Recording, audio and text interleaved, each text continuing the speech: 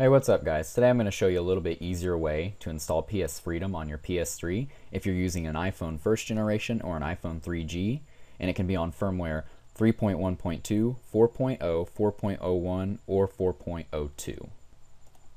And remember, your PS3 must be on firmware 3.41. Now, if you're using an iPod Touch first generation, you'll still you have to use the way that's in my other tutorial, and I'll go ahead and put the link up right now. So if you guys are using that device, you can check that out and get your PS3 jailbroken. Okay, so let's go ahead and get started. So you'll need your iPhone first generation or iPhone 3G. First, make sure it is jailbroken with blackra1n or redsn0w. Now this won't work with Spirit. So let's go ahead and pull up the PS Freedom website. That way we can get the files that we need.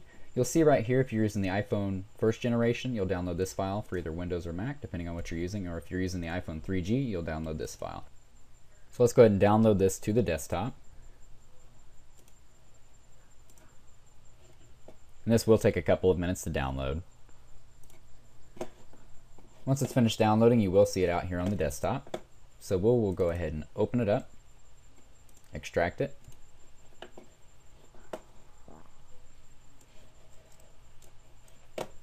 We'll go ahead and open up the folder and we'll go ahead and run the iPhoDroid program.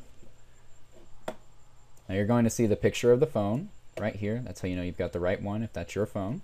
And the next thing to do is just go ahead and plug in your phone, make sure it's on. If iTunes tries to open up and sync, just close iTunes out. And you don't even have to put your phone in recovery mode. Just go ahead and click shoot and it's going to establish a connection. It's going to go ahead and run the hack on your phone. After it's completely finished, it will take a few minutes. On your phone screen, you're going to see the Open iBoot, and down at the bottom, you can click Install click install on your iPhone and it will install OpenIBoot permanently. That way you will have this hack installed on your iPhone and from now on you can use it on your PS3. And that's it, that's all there is to this one. So go hook it up to your PS3, run the exploit, and you are finished. And thanks for watching.